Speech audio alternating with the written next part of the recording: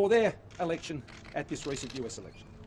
This is a profound time, not just for the United States, but for our partnership and the world more broadly.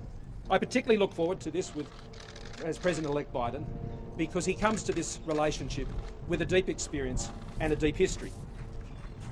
A history that has seen him come to Australia before, one that has involved many, many years of experience within the US system, and one that deeply understands this part of the world.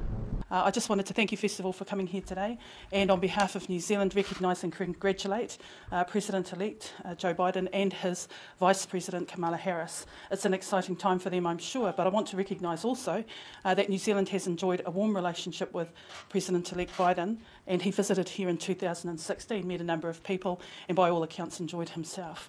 I also want to note that Kamala Harris, as Vice President, is the first elected woman of colour, and she will bring, I'm I'm sure, some very unique attributes to their leadership. This is an opportunity for uh, you to ask some questions, but it's also an opportunity for me to confirm that New Zealand has enjoyed a very strong relationship uh, with America. And under the Trump administration, we have enjoyed uh, the ability to strengthen those common interests that we have.